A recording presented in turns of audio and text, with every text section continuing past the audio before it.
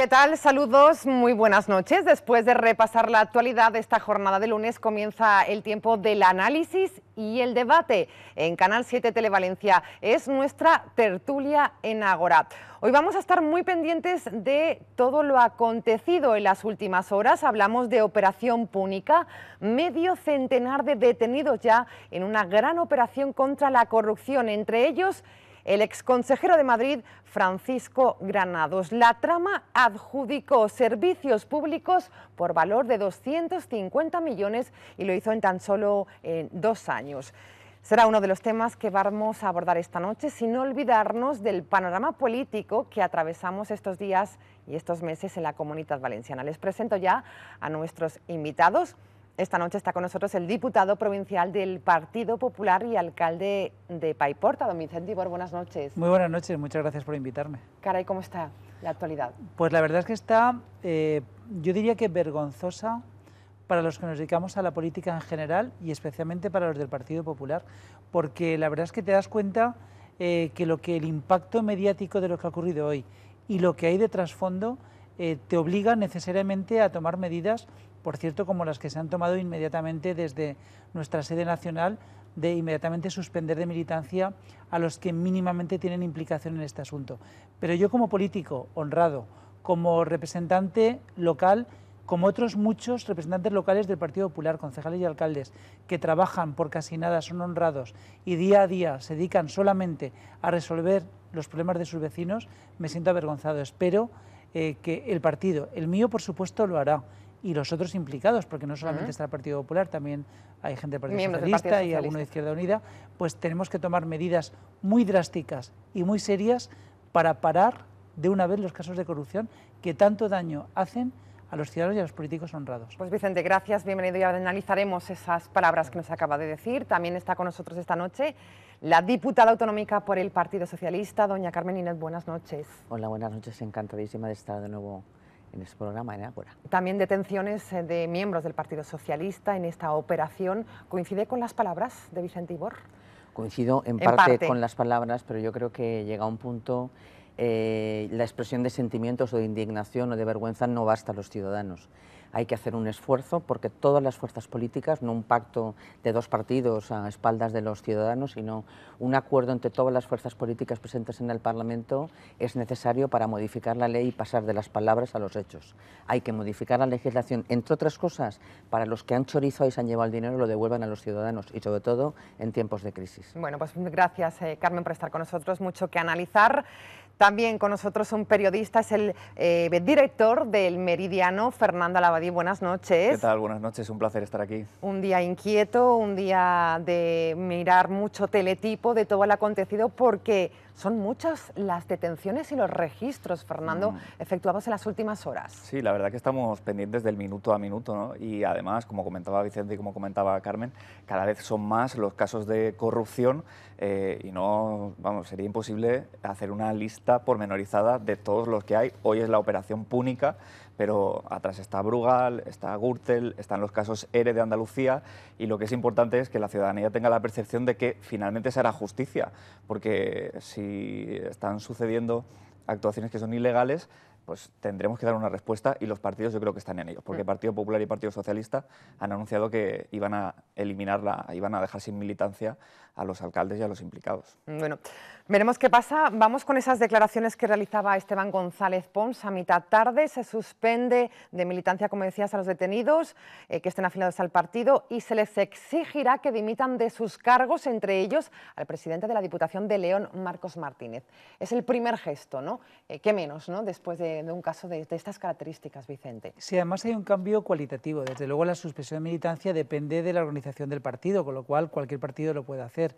Pero claro, la exigencia que renuncia a su cargo público eh, implica que a lo mejor en esa institución se pierde, el gobierno. Desde el, Partido, eh, desde el Partido Popular estamos dispuestos a asumir ese riesgo de perder el gobierno en determinada institución con, la única eh, finalidad que un corrupto, un presunto corrupto o una persona implicada en un caso grave de corrupción no está al frente de dicha institución. Si se puede hacer a buenas, será buenas. Si para eso tenemos que llegar a un pacto puntual con otro partido, moderado, lo haremos. y si perdemos el gobierno lo perderemos, pero llegado a un punto resulta inviable mantener a estas personas al frente de las instituciones. Ese cambio cualitativo es importante. Yo creo que es un cambio de timón, un golpe de timón para cambiar el rumbo de partidos que no podemos permitirnos en modo alguno estos casos puntuales de corrupción, porque afortunadamente son puntuales, pero llega un momento que son tan extendidos que la ciudadanía piensa que es lo general, lo normal y lo que pasa siempre, y no es verdad.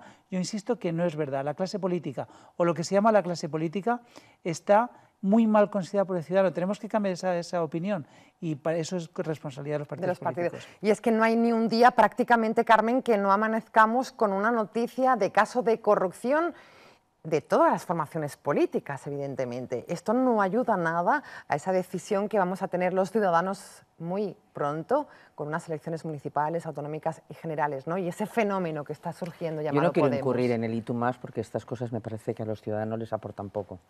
Pero, pero no, no, no, somos todos iguales. Yo, oyendo a Vicente, me alegro de que a lo mejor ya eh, hayáis tomado la decisión de pasar de esa línea roja, de esa línea roja que ha anunciado muchas veces el presidente Fabra a la realidad y a la verdad de los hechos y empezar a actuar. Porque espero que también le exijáis que dimita a la alcaldesa de, Alicante, porque también recordaros que durante mucho tiempo hemos compartido Parlamento con muchos imputados del Grupo Popular, mientras el presidente denunciaba lo de la línea roja, que iba a ser un antes y un después con el tema de la corrupción, convivía con 12 imputados en su grupo. Jamás les pidió que dimitieran, jamás. ¿Por qué? porque sabía que si les exigía dimitir, seguramente se pasarían al grupo mixto y perdía el gobierno de la Generalitat. Y le importó antes la aritmética que la ética.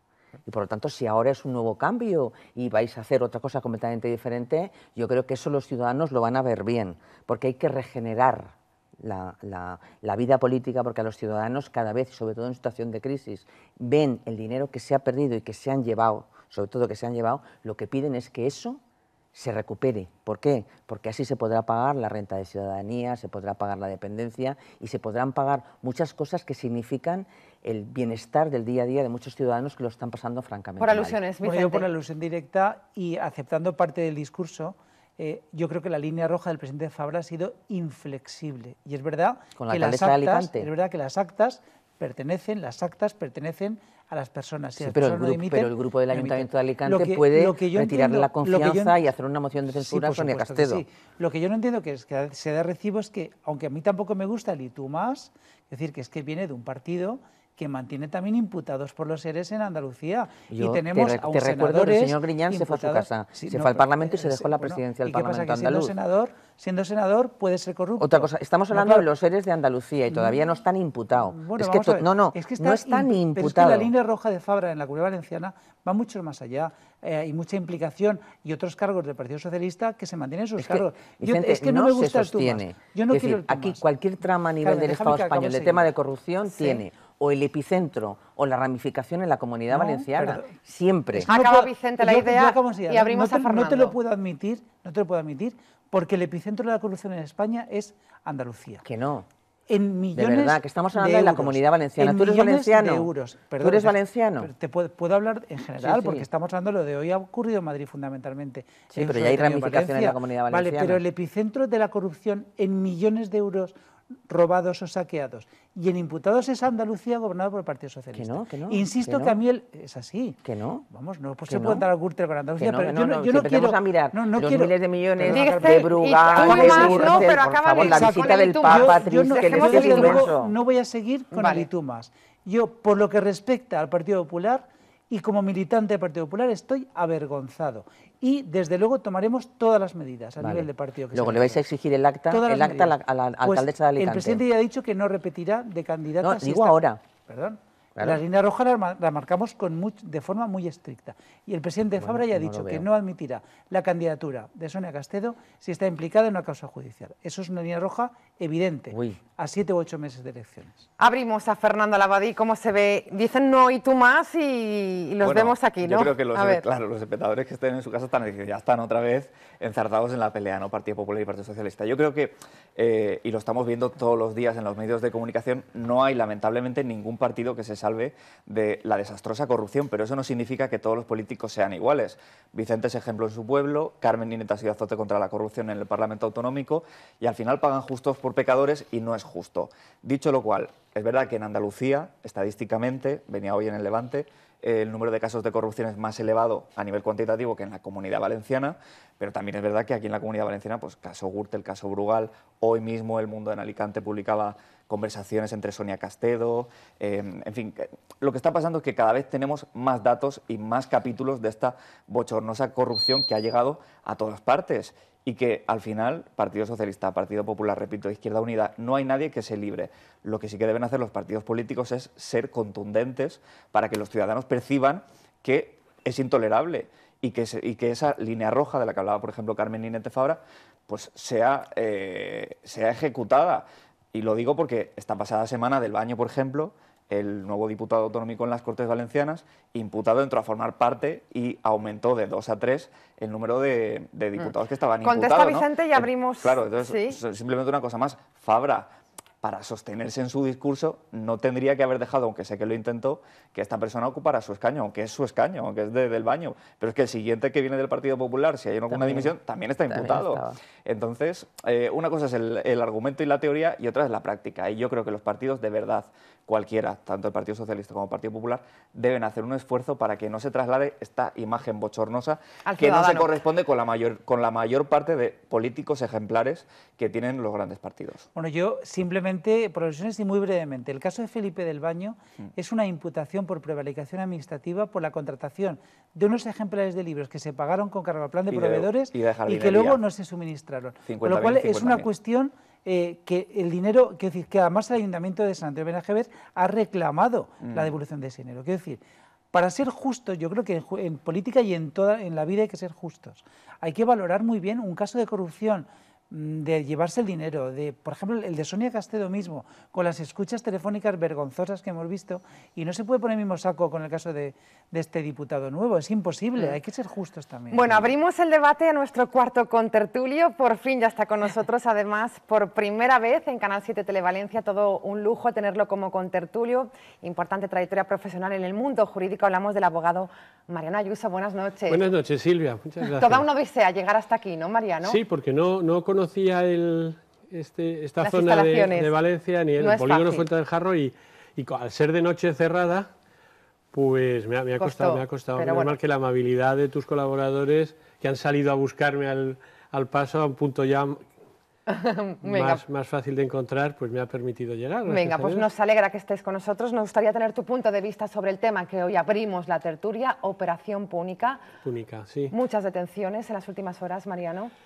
Sí, al menos hay 51 detenciones, pero imagino que luego habrá más. Hombre, a mí lo que me preocupa es, eh, claro, bien se habla, se habla sobre todo de los políticos. Hombre, lo preocupante son los políticos, porque claro, digamos que tienen que dar un, plus de ejemplaridad. De hecho, hay un, un, un importante dentro del mundo del pensamiento, de la ciencia política, de la filosofía política, de valorización de la ejemplaridad. ¿eh? De hecho, el presidente de la fundación, eh, eh, Javier, un, eminente filósofo y letrado del Consejo de Estado, pues ha escrito ahora una, tetralogía sobre la ejemplaridad pública. Y el problema está en, claro, los que deberían dar más ejemplo de, valores, de mm, mantener unos niveles éticos, que son los políticos, pues están eh, dando un ejemplo pésimo. Pero claro, luego hay otro aspecto muy importante y es que no habría políticos corruptos, sobre todo eh, los niveles que estamos viendo, por ejemplo, la operación esta púnica, se ven unos niveles, la verdad es que bastante bajos de, tanto pues eso, hombre, el más alto es el vicepresidente que ha sido de la Comunidad de Madrid, pero luego son, pues por ejemplo, la carretera de La Coruña, la A6, de la salida de Madrid hacia, hacia, hacia el noroeste, son pues alcaldes, este señor ha sido de hecho alcalde de uno de los pueblecitos. Presidente de la Diputación de León también, ¿eh? Sí, el presidente de, la Diputación de Murcia, ¿no? Creo que... De León, O de León. De León. No sé quién, alguien de Murcia también ha estado implicado, sí, O el exalcalde de Cartagena, exactamente. Hace 20 años. Pero son unos niveles, bueno, que tampoco es que sean los, los líderes de los partidos, ¿no? Ni, ni Mariano Rajoy, ni el líder del pero le quitas importancia, por tanto, Mariano. no, no le quito importancia. porque responde a. Esta, tarde justo he visto unas declaraciones de hace tiempo de Granados, que fue senador, fue alcalde de Valdemoro. Y decía para justificarse en su persecución, en la persecución que le ejecutó, en la persecución que sufrió desde las filas del propio Partido Popular, decía por teléfono, oye, es que no tengo un cargazo, oiga, no, usted ha sido senador, no, que, me, ha hecho, gracia porque creo que, no hay que, son 250 millones de euros los que se conocen de momento a cambio de comisiones. tiene que ser tan honrado. El último de los ciudadanos como el primero, tan honrado del rey abajo, todos tenemos que ser honrados. Por eso digo que en el principio de tu intervención estaba totalmente de acuerdo contigo, pero no hay que decir, minusvalorar no, no, no, 250 millones de euros en comisiones, que es lo que se está persiguiendo. precisamente, en cualquier nivel, y los niveles municipales quizás sean... Mira, Vicente, por ejemplo, que es alcalde de su localidad y muy apreciado en ella, si Vicente, que no lo va a dar nunca, diera un escándalo, del tipo que fuera, pues eso tendría una repercusión mucho más mayor entre los vecinos de su municipio, por ejemplo, que si lo hace pues un comisario europeo. Porque está muy lejos. O sea, que los políticos... Pues no sé yo, ¿eh? yo no, de acuerdo contigo. Pero que los políticos en todos los niveles tienen que dar, tienen que dar un, plus más alto de ejemplaridad. Está claro. Pero sobre todo a mí lo que me preocupa, de verdad, es cómo todo esto ha permeado en toda la sociedad. Porque no habría esta trama corrupta de Púnico y necesariamente implica empresarios... Funcionarios. Empresarios, funcionarios, pero sobre todo los empresarios que pagan para conseguir estos contratos. Además, muchas veces... que nos hemos encontrado en un contexto tremendo. Tenemos la inmensa fortuna de Jordi Puyol, que no tiene que ver con nadie, ningún partido que estamos aquí. Eh, ahora el alcalde de Barcelona ha salido publicado que dice que se va a querellar, que tiene cuentas en Suiza de varios millones de euros. Luego, 12, 12 millones, de, euros. millones de euros. Luego, eh, Francisco Granados con también cuentas en extranjero, que aquí qué pasa, que todo el mundo se ha dedicado a saquear y por aquí por la comunidad sí, sí, por la comunidad también, sí, sí, no estoy no estoy diciendo que mi partido no, es que por cada político corrupto hay cinco o seis empresarios claro, esa es la situación que yo decía, ¿no? que no hay día que no nos levantemos con esto y esto va calando mucho en la ciudadanía, por supuesto, independientemente yo creo que ya del color la ciudadanía ya, ya no, decir, el, problema es que está eh, al final esto lo que acarrea es un descrédito de la política, porque la gente tiende a decir todos son iguales. Mm. Y es injusto para, para, mucha gente, para muchos concejales de pueblo, Hombre, están porque se creen el proyecto y porque se creen las cosas. Que no son todos los empresarios, por supuesto, por supuesto ni siquiera ni una mínima parte. Pero yo he oído jactarse alguna persona del mundo de la economía de que él había corrompido personalmente a un medio alto cargo de Madrid. Sí, este yo le corrompí, porque yo fui, me costó trabajo, porque era un hombre honrado que provenía precisamente de, un alto cuerpo de funcionarios que tenía un alto estándar ético, mm. y entonces le costó mucho, le costó pues eso, eh, comidas, convencerle, no sé qué, pequeños favores, hombre, yo podría colocar a tu, a tu pariente tuyo, lo podría colocar, Pero por eso es fundamental la actuación de la justicia, porque ya la gente va entendiendo que no, es, que no puede quedar impune, es decir, si tú la haces, tienes muchas posibilidades de que al final la pagues. Sí, pero que al final bueno, la pagues. Tan responsable el político corrupto como el como, Te exijan responsabilidades. Lo que, la siguiente parte es que tienes que devolver. Pero en, este caso en concreto parece ser que ha sido las comisiones, ¿no? O sea, sí, pero la, las que tienen que saber que Permitidme una, una pequeña, una pequeña reflexión.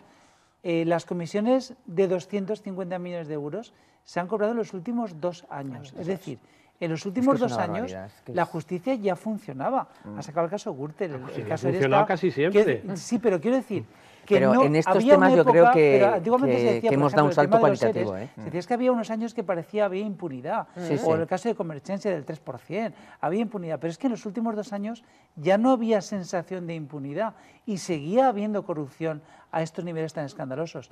Y la verdad es que la justicia ha funcionado perfectamente bien, porque la Audiencia Nacional lleva estudiando en, con sigilo absoluto el caso desde sin ninguna filtración desde verano creo, la Fiscalía ha actuado con discreción, ha actuado perfectamente. Creo que ha imputado a un guardia civil porque avisó a Granada. Quiero decir la satisfacción que me da que la justicia funcione en España, que el Estado de Derecho tenga mecanismos para atajar yo recuerdo aunque sea cuando fuimos al TSJ por el tema del Grupo Socialista de las Cortes Valencianas, por el tema de Gürtel, que al principio decía la gente, bueno, por tres trajes, qué tontería. Yo recuerdo cuando fuimos hace cinco años, Fernando lo recordará, había total incredibilidad, como diciendo, ¿esta gente dónde se mete? ¡Qué tontería! Eh, no, hay, no tienen ninguna posibilidad.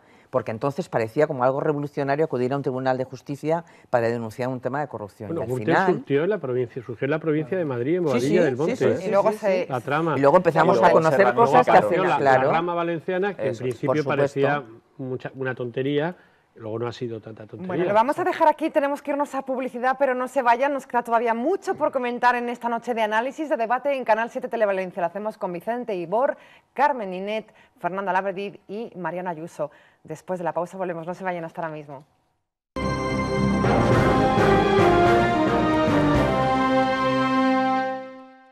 Citromer ETT pone a tu disposición más de 5.000 profesionales de diferentes sectores, trabajadores altamente cualificados y seleccionados individualmente para atender las necesidades de tu negocio. Especializados en citricultura, sabemos lo que necesitas. Nuestros candidatos poseen amplia experiencia en tareas del campo, recolección y tratamiento post cosecha. La cultura del empleo, garantía Citromer.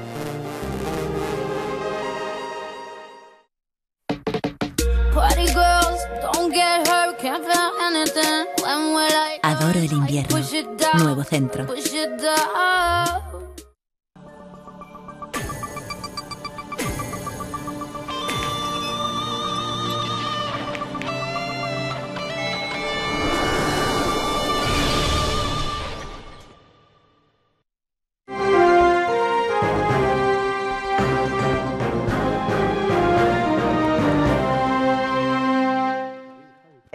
Ahora es nuestra tertulia en Canal 7 Televalencia. Seguimos con las reflexiones de nuestros cuatro contertulios esta noche con Vicente Ibor, diputado provincial Carmen Ninet, diputada autonómica del Partido Socialista, el periodista Fernando Labadí y el abogado Mariano Ayuso. ¿Es posible recuperar la confianza del ciudadano, Vicente, con toda la que está cayendo en estos momentos? Pues posible es, pero muy difícil. Muy difícil porque pasa por hacer una reestructuración de los partidos completa, pero me refiero en profundidad, eh, con seriedad, no estructuras, eh, estatutos, personas, y eso no se puede hacer del día a la mañana. Ahora lo que tenemos que hacer, desde, por lo menos desde mi partido, es intentar convencer al ciudadano con una reforma importante, la que dé tiempo de aquellas elecciones, que seguimos siendo la opción más razonable dentro, razonable dentro del sistema, porque lo importante desde nuestro punto de vista, es aprovechar todo lo bueno que tiene el sistema, no, destruirlo, para eh, mejorar la vida de los ciudadanos. Pero es posible, pero muy difícil. Mm. Desde el punto de vista del Partido Socialista, ¿cómo se ve la situación de bueno, pues que la gente ya no cree en la política, de poner a todos los políticos en el mismo saco? ¿Se puede recuperar esa confianza, como le preguntaba Vicente, Carmen? Yo creo que se puede recuperar la confianza, y además se debe, efectivamente.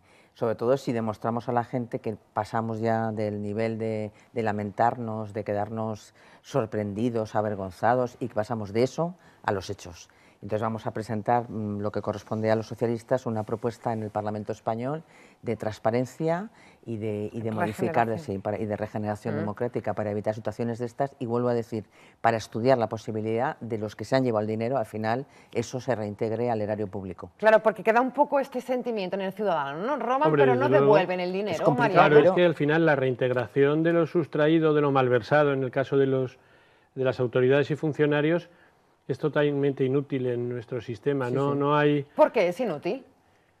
Bueno, pues porque han puesto lo que llamamos nosotros técnicamente el dinero en indemnidad, es decir, en paraísos fiscales, etcétera.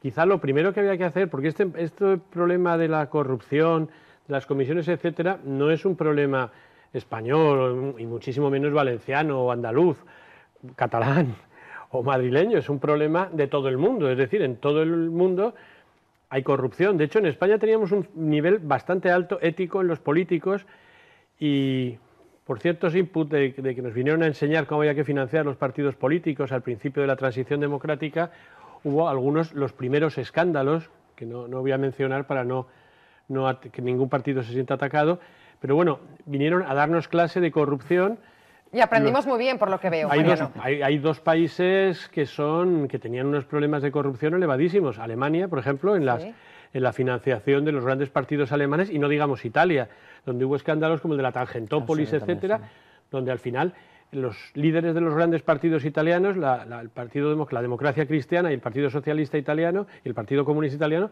sus líderes tuvieron que vivir y morir, alguno de ellos, en el exilio. Y entonces, este problema, no digamos en países tercermundistas en los cuales, eh, tú que eres abogado también, Vicente, te habrá llegado algún cliente alguna vez pidiendo consejo sobre ofertas que le han llegado de inversiones millonarias en países del tercer mundo. Las cartas nigerianas. Exacto, las cartas nigerianas o de otros o de otros países en el cual te ofrecen, ofrecen a tu cliente el que pagando una cierta cantidad se puede desbloquear ah. unas sumas importantísimas que un dirigente político, un reyezuelo, un dictadorzuelo, etcétera, de un país tercermundista, normalmente del continente africano, ha situado en Suiza, en Hong Kong, Singapur, en algún o en algún paraíso fiscal y entonces, bueno, si usted paga tanto, nosotros podremos desbloquear ese dinero y le vamos a hacer entrega de esa cantidad. Claro, pero ¿por qué no se devuelve el dinero? Es lo que preguntábamos. Pero el problema está en que ni se devuelve el dinero, ¿por qué? Porque todo este dinero está como el de los reyezuelos o dictadorzuelos de, algunos continentes que no son el europeo, están en indemnidad.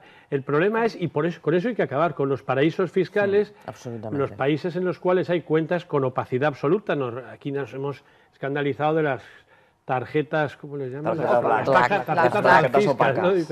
una tarjeta francisca, una, tarjeta de paca, ¿no? Opaca, ¿no? Opaca, La broma. Francisca, Pero, pero, pero es que hay países enteros, o, a veces son muy pequeños, pues como las Barbados, Javier, etc., que son enteramente, y viven de eso, de tener bancos con opacidad total. Mm. Eso es lo que hay, con lo que hay que acabar. para, que devuelvan el dinero, quiero decir, evidentemente lo que dice Mariano tiene toda razón. Es decir, el mundo es muy grande, la economía es global, el dinero hay libertad de movimiento de capitales. Dentro de, la Comunidad Europea, Luxemburgo es un paraíso fiscal, prácticamente, y está dentro de la, Comunidad Europea. Pero eh, las medidas las tenemos que adoptar aquí en España. Entonces, efectivamente, tiene que haber, eh, tiene que haber algún mecanismo legal para que la devolución del dinero sea imprescindible para para evitar, por ejemplo, la cárcel una condena de menos de dos años. Si no hay una devolución del dinero, una insolvencia no tiene que valer. Es decir, tú, eres responsable de la desaparición de X dinero, devuélvelo o vas a la cárcel. Con intereses. por supuesto, con intereses. más. Los intereses también son legítimos cobrarlos por parte de la Administración.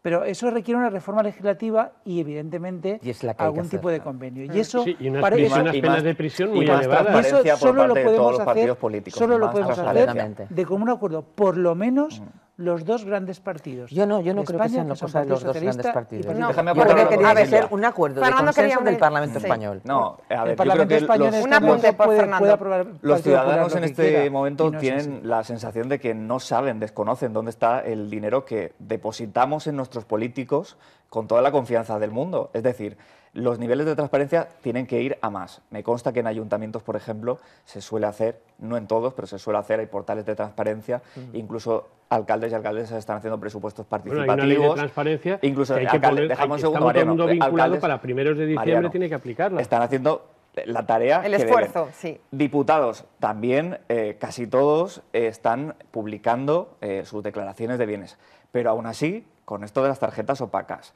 con la caja fija del Consejo con los viajes de Orengo en Gandía con las tarjetas Black de Alfafar es decir, volvemos a lo mismo de antes, ni Partido Popular ni Partido Socialista lamentablemente se libran de esta situación bochornosa y lo que hay que hacer es luz y taquígrafos, ser, ser más transparentes que nunca. Ningún partido que ha tenido experiencia de gobierno se libra. Por eso, por eso por lo tanto, no puede ser un acuerdo de los dos grandes partidos porque eso da la sensación a la ciudadanía que es un acuerdo de los dos grandes partidos y un pastel. y, para, recuperar la credibilidad de la gente hay que ser transparente. Entonces, poner, poner sobre la mesa las propuestas de cada uno intentar que se sumen a ese acuerdo, es que estamos llegando como, como al principio de la democracia española. O sea, esto requiere regeneración democrática, pero además la percepción de que hay intención de regenerar. Sí, pero, que luego, como el de Carlos ya no vale una solución cualquiera. Ayuda muy poco. A ver, es que hoy tu partido... La aplicación termina ahora en diciembre y una ley valenciana de transparencia más exigente que la estatal, que está ahora mismo en trámite, en trámite de anteproyecto, ¿no, Vicente? Sí. creo que sí. Todavía no ha llegado al Parlamento. No ha llegado todavía al Parlamento, en trámite de anteproyecto. Pero todas estas cosas, la verdad es que no sirven de nada, si no hay un cambio de mentalidad, de filosofía política. Y eso pasa, pero bueno, no sé si eh, se me permitirá, es que es un poco fuerte, pero te quiero decir que con esto de la corrupción de los políticos pasa como con la denostada prostitución, mm. que dices, no se puede atacar la prostitución si no se persigue, que se está persiguiendo y muchas ordenanzas municipales lo castigan, a los clientes de las prostitutas, porque muchas veces las prostitutas, las pobres, es que no tienen otro remedio. Bueno, pues también a veces sucede que, bueno, pero bueno, vamos a atajar la corrupción castigando a los políticos corruptos, pero también hay que atacar, atacar a los, a los que corrompen. corruptores. Claro, claro. Porque es, que a veces también este planteamiento. se le pide una, una conducta heroica Yo recuerdo, yo he sido eh, muchos años, y ahora mismo estoy en excedencia, juez y magistral. Me acuerdo de un, un, alcalde de pueblo que tenía, me contaba su, su tragedia personal. El pobre acabó imputado y tal, se descubrió una trama con la que estaba con un contratista de obras, etcétera. Decía, dice, dice, pero ¿qué culpa tengo yo? Si es que se presentó un día en mi casa, que yo estaba en el ayuntamiento, este contratista y fue a ver a mi mujer y le dijo, dijo, toma, estas son las llaves del coche. ¿Qué coche dices? Ese. ¿El que tienes fuera? Un coche de una conocida marca alemana. No sería un Jaguar y no lo vería la persona, ¿no? No, no. eso pasa solamente a, los niveles ministeriales en Madrid.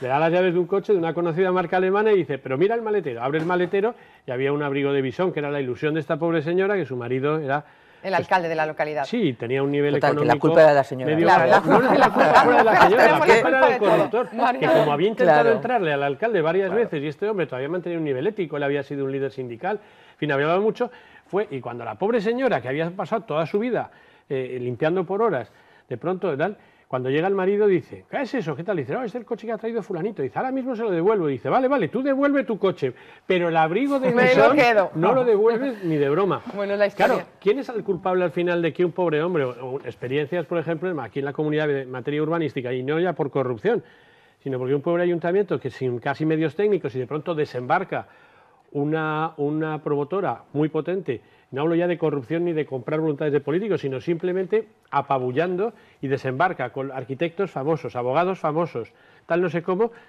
Vicente, a ver, mucho que decir de la reflexión de, Mariano. Muchísimo. Ahí está, eh, bueno, la ética, la moral, ¿no? Pero la moral para decir de un bando y del otro bando. Hombre, yo tengo que decir que yo llevo siete años de alcalde y jamás nadie... ¿Te ha pasado estas historias? No, jamás nadie me ha insinuado mínimamente la posibilidad y, y como a mí a muchos del Partido Socialista, del Partido Popular y de otros partidos, eso es verdad. Y por otro lado vemos sindicalistas como el de Asturias que tiene una cuenta en el extranjero de un millón y medio de euros. Bueno, pues eso, eso pasa. Lo que yo quería decir antes de que el maestro nos haya interrumpido, porque a mí escucharte siempre me, aporta mucho personalmente, bueno, eh, hay que ser generosos, hay que ser generosos. Hoy el Partido Socialista o ayer ha dicho que no se sienta con el Partido Popular a negociar ninguna medida contra la corrupción porque el Partido Popular es el paradigma de la corrupción. Pues no me parece ético. Yo creo que hay que sentarse a hablar de todo. y si luego de lo que hablas... No cambies, a negociar, pero a hablar sí. Ni a negociar. Es lo que hemos dicho. Hay que sentarse a hablar y a negociar porque yo creo que se negocia sobre propuestas, no sobre estereotipos. Y ahí creo que el Partido Socialista partidos, Vicente, de Pedro Sánchez... hablamos, tenemos que abrir el abanico a todas las fuerzas políticas, es un tema muy grave que nos afecta a todos. desde el Partido Popular os pedimos que escuchéis las propuestas. Sí, pero no solamente a, nosotros. y hacemos no una solamente a nosotros, decía, a todo el Parlamento. Bien, pero es que esa generosidad, propuestas, y es que eso esa no es generosidad es necesaria y yo no la estoy viendo en el Partido Socialista. De verdad que pero no porque la estamos viendo. hablando de pactos de despacho y eso no, no sirve, pero Vicente. escuchar lo que os tenemos que decir. Pero es que la percepción de la ciudadanía no se soluciona con un pacto en un despacho. pero escucharnos y luego no, decirnos no, pero que no. si escuchar todo lo que queráis. No, no, no sentáis a negociar. No, no, negociar es lo que no vamos a negociar pues en un la despacho. negociación primero hay que y taquígrafos y transparencia. y en el Parlamento cada uno presenta su propuesta. y aquí la Enmendamos, oye, el procedimiento, el procedimiento en un Parlamento. tampoco es capaz de sentarse con Alberto Fabra a hablar y a negociar de por nada. Por favor, Vicente, que tú estás en la Diputación. tú estás en la Diputación y tú no sabes lo que llevamos pasado en mi pueblo. Lo que llevamos pasado de propuestas que se hacen eh, para, para, para, que se, se, oigan fuera y parezcan muy bien. Pero no se puede hacer una propuesta diciendo que tú estás al consenso, das una propuesta cerrada cuando necesitas los votos de la oposición. de eso, de escenografía estamos sobrados. y la, ciudadanía eso ya no lo entiende. Partido Popular y Partido Socialista. Que dialogar, pero conforme se acercan las elecciones locales, es evidente que los dos partidos, los dos partidos hegemónicos están eh, midiendo su estrategia. Chimo Puig fue el primero en eh, promover este debate con Alberto Fabra, en su momento no se quiso y luego pasó también a la inversa. Es decir, que conforme nos acercamos a mayo, conforme las encuestas van pincelando un escenario político en el que el Partido Popular descendería en el número de apoyos recibidos, perdió medio millón de votos en las europeas, el posible ascenso de Podemos. yo luego creo que hablaremos del escenario político. No nos va a dar tiempo, pero sí, ya se nos ha ido la tertulia. Pues si no, pues aprovecho para decir dos cosas rápidas. Entonces, eh, yo creo que los partidos deben de pensar, de, deben dejar de pensar, perdón, en la estrategia política para de verdad abrir el abanico a todas las formaciones políticas y que no, sea, no solo sea una cosa de Partido Popular y Partido Socialista, porque si no redunda en lo que estamos diciendo todo el en el pastel. que hacemos grande a Podemos y hacemos grande a,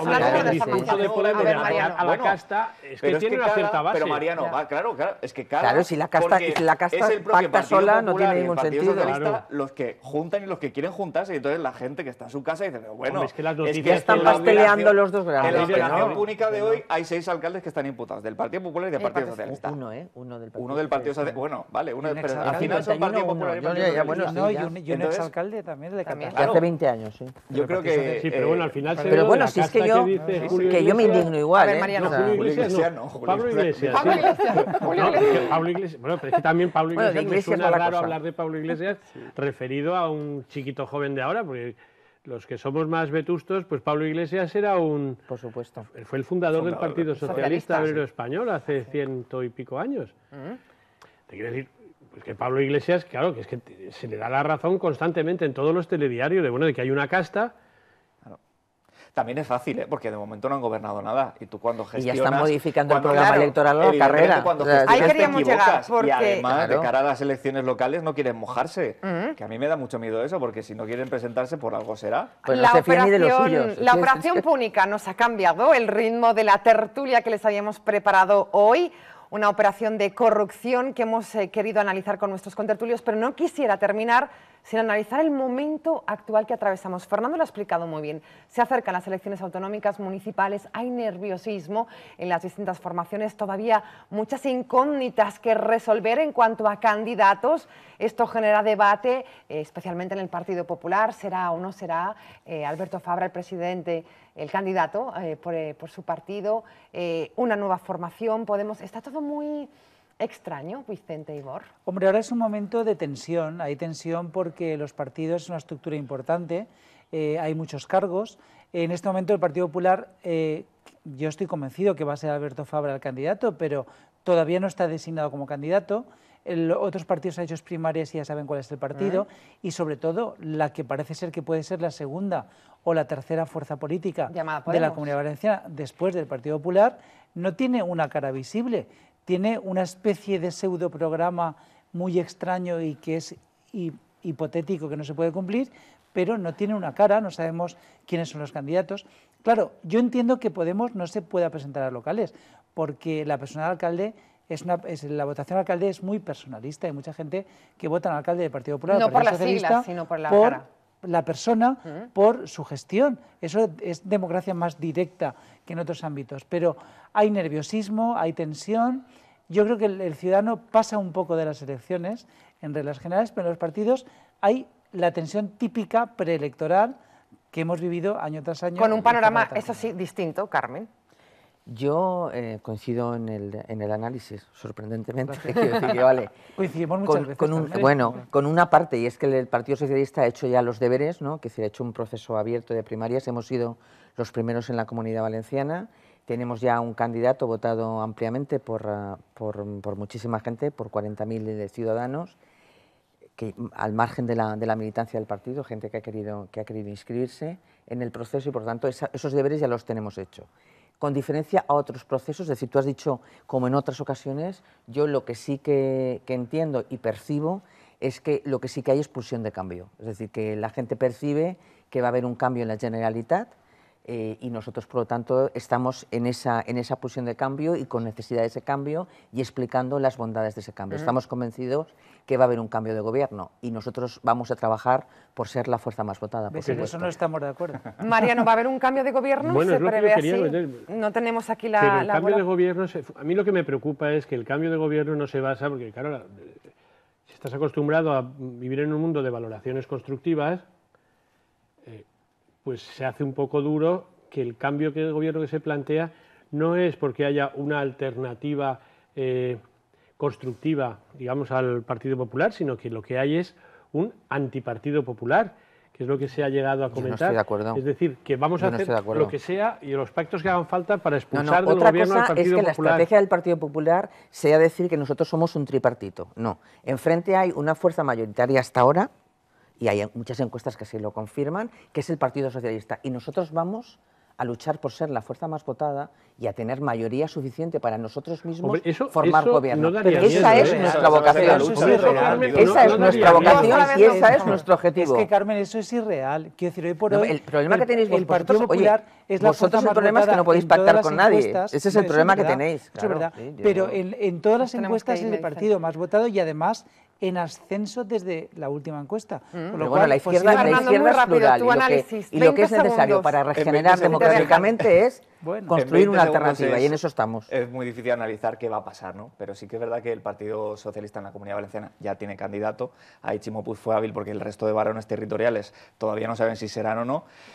Y tenemos la incógnita de Fabra. Yo creo que puede ser que también se quede, pero él mismo recuerda que es Rajoy quien tiene que decidir. Se nos quedó muy corta la tertulia de hoy, qué pena, pero tuvimos en directo 40 minutos con Vicente Ibor, diputado provincial del Partido Popular. Gracias, alcalde, por estar con nosotros. Carmen Inés, diputada autonómica del Partido Socialista, buenas noches. Encantada y cuando queráis. Mañana repetimos experiencia, ¿no? Ahora ya sabes el camino, llegarás.